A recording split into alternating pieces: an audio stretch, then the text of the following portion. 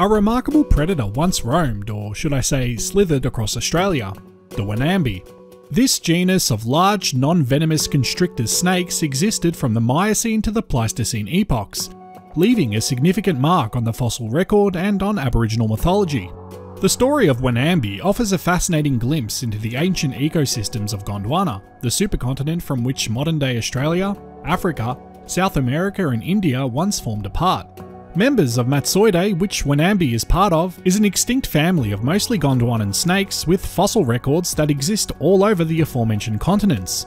The first fossils of Wonambi were discovered at the Naracoorte Caves in South Australia. These caves are a renowned site for Pleistocene fossils and have yielded many significant discoveries of prehistoric fauna. The genus Wonambi was first described by paleontologist Meredith Smith in 1976 based on these fossil findings. Naracoorte Caves are a World Heritage Site and have been a rich source of information on Australia's ancient wildlife. The cave's fossil deposits provide critical insights into the continent's paleoecology and the species that lived there during the late Quaternary period. Unfortunately, there are very few pictures of Wonambi online that are available to use, so I will have to intersperse this video with footage of modern day snakes like the anaconda, which sucks but I believe the story of Wonambi should still be told nonetheless. Wonambi naracoortensis, one of the two recognised species of this genus, was a formidable creature, growing up to 4 to 6 metres or 13 to 20 feet long.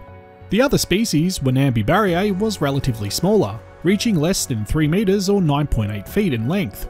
Despite their size, Wonambi snakes had relatively small skulls, which were less expandable than those of modern day pythons. This anatomical feature likely restricted their diet to small to medium sized mammals, unlike their modern relatives who can consume much larger prey. The story of Wonambi is deeply rooted in the ancient history of the Madtsoiidae family, a lineage of snakes that thrived across Gondwana. Fossils of these snakes have been discovered on all of the southern continents, indicating a widespread distribution before the breakup of Gondwana. These snakes were among the last of their kind, surviving in Australia long after they had disappeared from other parts of the world around 55 million years ago. The isolation and unique ecological conditions of Australia likely allowed these ancient serpents to persist for so long. Wonambi's jaws can be considered primitive compared to those of modern day snakes. While they were capable of significant constriction, their skull structure was relatively less flexible and their jaws less expandable, this limited jaw expansion is a primitive trait, because in the evolutionary lineage of snakes, the ability to unhinge and expand the jaws to consume larger prey developed later. The more primitive jaw structure of Wonambi indicates that while it was a powerful predator, its hunting capabilities were somewhat limited by its anatomy. As ambush predators, Wonambi relied on stealth and strength to capture their prey. They inhabited sunlit areas near waterholes, waiting for unsuspecting animals such as wallabies and small marsupials to come for a drink. The primary method of subduing prey was constriction, a deadly technique that involves coiling around the prey and applying significant pressure through muscular contractions. Constriction works by disrupting the prey's physiological systems, primarily through circulatory arrest and respiratory failure. When a snake like Wonambi wraps around its prey, it tightens its coils with each breath the prey takes.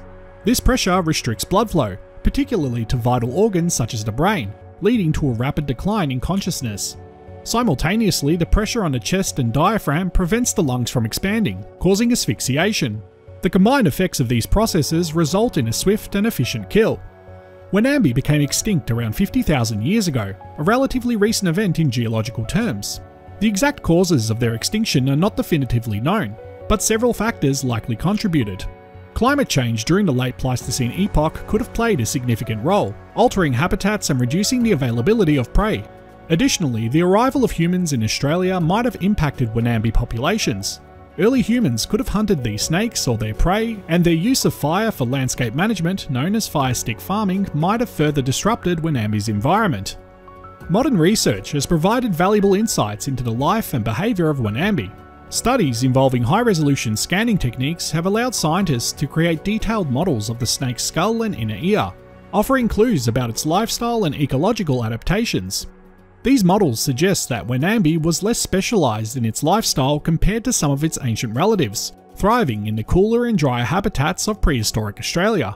Wonambi holds a significant place in Aboriginal mythology, particularly in the legends of the rainbow serpent. This mythological being is a powerful and sacred figure in many Aboriginal cultures, symbolising creation, fertility, and the guardianship of water sources.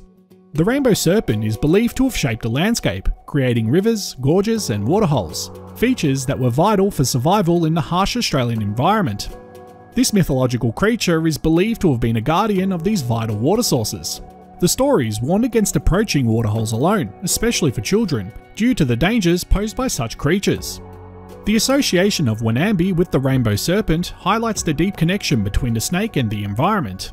Aboriginal stories often depict the rainbow serpent as a protector and enforcer of tribal law. These myths, while symbolic, emphasise the importance of water and the natural balance maintained by such powerful creatures. The tale of Wonambi is a captivating blend of science and mythology, shedding light on the ancient ecosystems of Australia and the profound connection between its inhabitants and the natural world.